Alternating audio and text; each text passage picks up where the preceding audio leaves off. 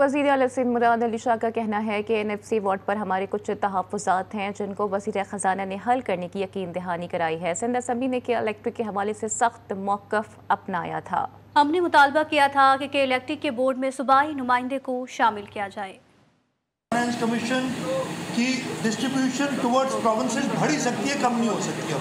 तो एक चीज़ तो उधर कर लें आपने वो नेशनल फाइनेंशियल पैक्ट की बात की उसमें कुछ ऐसी ज़रूर बातें हैं जिसमें रिजर्वेशन हैं। और हमने उन रिजर्वेशन को सामने रखते हुए एग्री किया और फेडरल फाइनेंस मिनिस्टर ने यकीन दिलाया है कि आपकी जो रिजर्वेशन जो उनको उनको हम डिस्कस करके फिर ये बात करेंगे।